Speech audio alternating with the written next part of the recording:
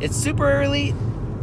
I am very tired right now because I can never go to sleep early enough when I have to fly out at 5 a.m. But that's okay because I am going on a Panasonic trip to play with the GH5S.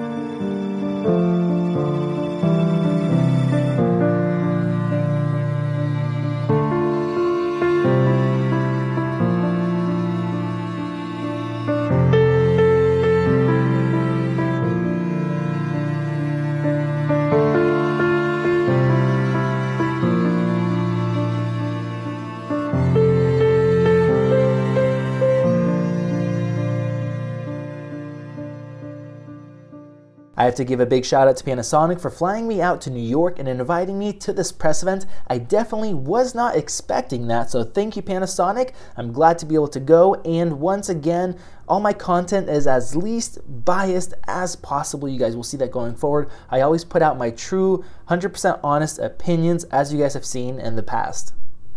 And just like that, I am in New York at the Highline Hotel. So the GH5S event actually starts tomorrow. So today I'm gonna go hang out with. Let's go find something to eat, man. Let's, let's do the meatball shop. Let's do it. Yeah. So Jordan and I had a good time hanging out and enjoying some delicious food, and thankfully he had a GH5S, so I was able to compare it to my GH5 and my Sony a6500. Rec 709, f2.8. At 3200 you could see how much cleaner the GH5S is, even though the GH5 is still usable. Bumping up to 6400, in my opinion, the GH5 is no longer usable. We have a lot of noise, and we're starting to see some color shift where the GH5S is clean. 12,800. There's no point.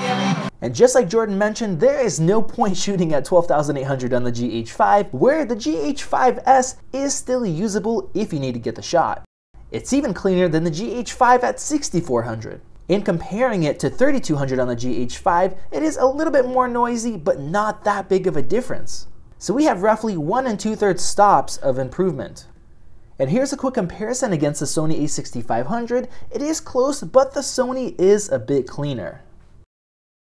Taking another look against the GH5, you can see how much cleaner it is at 3200 in this scene. 6400, there's no comparison, and at 12800, I think the GH5S is showing a little bit more noise than I would like, but it's way better than the GH5. Now let's compare the GH5S against the Sony a6500 and the Sony does look cleaner to me, especially in the higher ISOs. Here at 12,800 ISO, you definitely see a lot less noise in the dark shadows on the Sony. Here we're going to compare it against 6400 on the GH5S and still the Sony looks slightly cleaner in the shadows. So I am off once again. Jordan is being very nice from the camera store and letting me test my GH5 against the GH5S. So yesterday you guys saw some low light tests. Today I want to compare the 4K quality against it because it is using less data to create that image. And then on top of that, 1080 at 24, 1080 at 120, which is kind of like the best quality if you want slow motion on the GH5. Uh, and then I'm also going to test that 1080 at 180, which had noticeable quality loss. We'll see if the GH5S does better. I'm also going to throw in 1080 at 240 since it is capable of doing that now, but that does use a crop. I thought the crop went in if you go any higher than 180, but it actually lets you go to 192 and you still don't have any crop. And then when you go to 204, you guys see it says crop on right there, all the way up to 240, but we'll see what kind of a quality we get. Let's start out in 4K, and first off, I do want to point out the color differences. The GH5S is using an updated picture profile that has more Canon-like colors. Most people are agreeing with that statement, and I do prefer it, at least in this shot. Now, I was expecting the GH5 to totally beat out the GH5S in 4K detail, but even punching it at 200% here, I am not seeing that big of a difference, even looking up really closely. And that was definitely surprising because the GH5S is not oversampling a bunch of extra data. Now moving on to 1080p, here I was expecting the GH5S to do better because it has to deal with less data and throw less data away, but once again, I was wrong. The shots look very, very similar. I looked at this for multiple minutes trying to see a big difference, and there really isn't. The GH5S is not doing much better than the GH5, which is okay because the GH5 already does a great job. At 180 frames per second, we are starting to see some aliasing, and I was expecting less on the GH5S because it has less data to deal with, but it actually has a little bit more, especially if you're looking at uh, the middle right hand side on those columns, we're seeing more jaggedy lines on the GH5S. Moving on to 180 frames per second, both of them get softer and maybe the GH5 is slightly more detailed, but once again, the GH5S also has more aliasing. Now we're looking at 240 frames per second on the GH5S, and we are seeing even more aliasing and maybe slightly less detail, but it's not as bad as I expected given the extra crop that we get.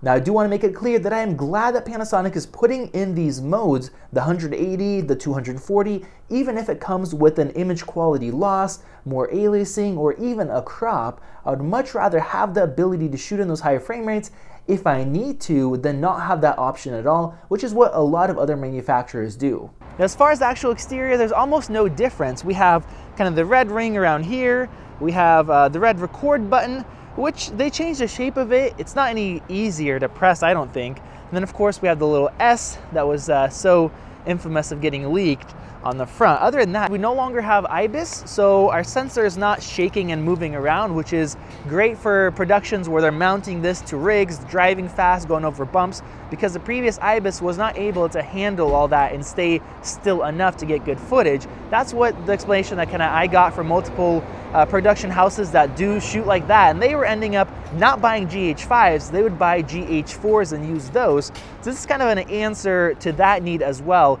without the IBIS. Now this sensor is larger in here compared to the GH5. I think the number is 1.86 crop, but that's only if you're shooting in the Cinema 4K mode. Uh, if you're shooting 16 by 9, it's really close to two times crop. Now, what you got to think about in that Cinema 4K mode, if you're using a speed booster, like uh, Jordan right now has the 0.71, the Speed Booster Ultra on here, um, you actually get like a 1.32 or something like that crop factor, so bigger than the Super 35 sensor equivalent with a speed booster. But with lenses like the Sigma 18 to 35, if it's not a full frame lens, you will get some vignetting on the outsides. So our main shooting event for the GH5S was a show called Sleep No More.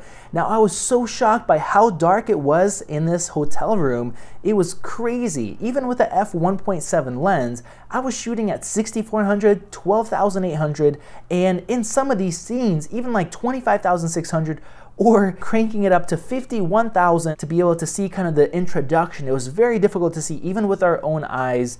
It was kind of crazy. This event, as you can see, is it's a, a darkened area, which is perfect for the what the GH5S can actually do. There's going to be a lot of action around in this area for, for everyone to film and kind of get your own take and look on how you guys want to work with the camera. The actors were like walking around everywhere, doing their own thing, and we were able to walk around everywhere and record from different angles and get a variety of shots like you guys are seeing, and I spent most of the time shooting on a gimbal.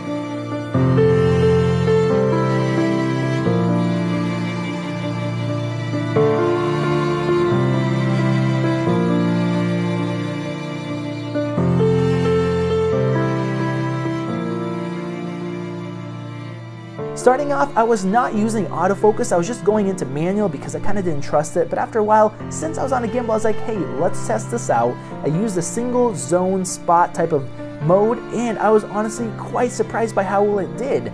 it was shocking actually. Now it wasn't perfect, but the low light scenarios were really crazy.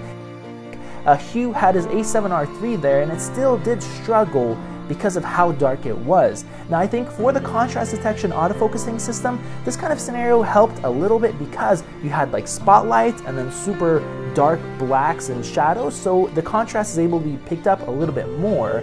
Uh, but once I talked to Sean, he mentioned to try out the face detection, which I wasn't using because I didn't trust it from before, but they have improved it quite a bit. And now the system is able to actually see not only faces, but whole bodies at a time. And in this scene here, you guys are seeing how it's picking up all those different subjects and the face at the same time. Now, I think this is because even though it's still using the same processor, the GH5S has almost half the data that it has to deal with. On the GH5, we're using a much higher resolution sensor, so the GH5 is taking almost twice the data needed for 4K, processing that and sampling it down, meaning it's much tougher for the processor to deal with all of that.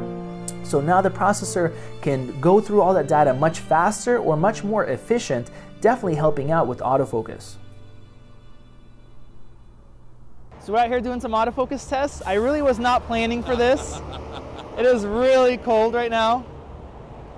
But when we were shooting, yeah, no gloves. When we were shooting yesterday in a super low light environment, uh, it actually, the GH5S was surprising me on what it was doing. So we were not planning to do autofocus, but since it was surprising, we decided to come and check it out. So I'm here with Hugh Brownstone and with Sean from Panasonic. I never thought I'd be doing an autofocus test with the Panasonic guy here. But this is cool. So it's freezing. We're going to keep this quick. I have to admit that our autofocusing test was not perfect. They were not the same lenses. Uh, both were set to f4. Our GH5 had the 12 to 35 2.8. Our GH5S had the 12 to 60, the new one. Um, and I don't think the 12 to 60 is much faster. In my previous test, they're quite similar. Uh, but here, it's kind of a hit or miss at 24 frames per second. Sometimes the GH5S did a little bit better. Sometimes the GH5 did a little bit better, but there wasn't a big difference. Now moving over to 4K 60, I think the GH5S did slightly better. As you can tell, none of them are perfect now. They're focusing on the background here. Both of them like to stay on the background until Hugh gets quite close, at least at this point, and once he drops down, the GH5 is slightly smoother, but there's not a huge difference. And locking on, the GH5 was slightly faster once again, not a big difference though. Here, both of them went to the background, then they caught up almost at the same time. And when Hugh walks quickly, the GH5S does do a little bit better of a job keeping up with him. But overall, it's still a contrast detect autofocus system, so when there's tons of details in the background, it does struggle. Now let's talk about the dual native ISOs. This is basically two sets of circuitry on a sensor, one designed for lower ISO use and one designed for higher ISO use. Now this does help out with noise and decreasing noise in the higher ISOs, but on top of that, it allows you to have better dynamic range at the higher ISOs as well. So typically your sensor would have the best dynamic range at the lowest ISO point and once you get higher, each step you go, the dynamic range is decreased. So here on the GH5S, the higher dual native ISO is 2500, meaning you could be shooting Vlog L at 2500 and still having good dynamic range, retaining that dynamic range compared to other sensors which will lose it after the optimum point. Now, with that said, I compared both at 800, which is the crossover point between the low and the high native ISOs, and I did not see much noise difference, and it doesn't allow you to go up to like 25 500 uh, with the low native ISO or kind of the base native ISO. Uh, so we're not seeing much difference here, but what we should see is if you're going to be shooting in a low light scenario at 2500 with the Vlog, you're to get better dynamic range and you're to have less noise at the same time. And the benefit with the Panasonics compared to other systems that shoot log is you can shoot at that 320 ISO when you're shooting outside in Vlog, which is most of the time the only place that I'll use any sort of log footage with any camera. And instead of being at like 800 or 1600 or 3200 on other cameras, you can shoot at 320, which is much easier to ND your lenses and be able to shoot that low. So let's wrap up this video. Thank you Panasonic for inviting me on this trip. It was definitely nice to hang out with all the different YouTubers and people that I've made friends with over the last couple years and being able to shoot with this camera and compare it to the regular GH5. Now I do want to point out that this is more of a niche product compared to the GH5. I think the GH5 uh, a lot of more people are going to buy it. It's more flexible for photo and for video, and we do have the IBIS stabilization. And Panasonic admits that this is more of a specialty product. The GH5 is kind of the flagship for everybody. Then they have the G9 for photographers, and the G5S is set up for filmmakers that really need that low light performance or for the higher end productions where the IBIS was getting in the way on the GH5. Personally, I'm not upset at Panasonic for not putting IBIS in there. Would I have liked that? Sure, yes, I definitely would, but it makes sense where they're coming from. A lot of higher end productions that were buying tons of cameras from them we're having issues with the IBIS and the GH5 because it's never perfectly locked in place. Now, for most scenarios, you're walking around, you're on a tripod, it's holding the sensor steady enough, and that's done by magnets holding it in place. It's not having any issues. But if you attach the GH5 to a car rig, uh, off-road rig, anything like that, where you have fast speeds, fast whips, or you have lots of harsh bumps, the sensor is not able to stay steady enough uh, to not have it affect it. So it tries to counter all those heavy bumps and it really messes it up. Here's a clip to show you guys the difference between the GH5S and GH5 when it's attached to a rig. And a lot of higher end studios were actually buying the GH4s, kind of downgrading from the GH5s back to the GH4s that they were using before uh, in order to not have these issues anymore. So with this camera, Panasonic kind of solved the low light, really gave us amazing low light performance, something I'd never expected from a Micro Four Thirds sensor. Um, and they fixed that issue with a lot of those higher end studios being able to now use this camera instead of going back to GH4s. I know one of them was like Top Gear for their kind of crash cameras. They're in car cameras. So that definitely was a big deal. So if you need the IBIS, definitely go with the GH5. You're not going to get that low light performance, but keep in mind you could still put a speed booster on there. You could still use a fast lens like an 18 to 35 Sigma 1.8. That really gives you advantage in the low light department while retaining the IBIS. So overall, I think Panasonic is doing a great job putting out a camera like this. I'm glad that they're starting to separate their lines and not just having one flagship, but hitting specific needs for different markets. I think a lot of people who already own a GH5 or multiple GH5s are gonna end up picking up and having one GH5S at least for those times where they need really good low light performance. And it really gives us much better performance than any other Micro Four sensor that we had in the past. If you guys enjoyed this video, please give it a thumbs up and hit that subscribe button and enable those notifications if you guys want to see more videos like this one. I am going to get a GH5S in. I'm going to be comparing it doing more testing and doing like a more uh, longer term review, maybe comparing it to some Sony's. Definitely make sure you guys are subscribed for that. I also will have some links to the GH5S in the description below. If you guys want to pick one up, please use those. That helps support us make more videos like this one. If you guys have any questions, make sure to ask in that comment section below. And if you're interested in seeing any other videos, you guys can go hit those cards right there and check them out. Thank you guys for watching. This has been Max, and I will see you in the next video.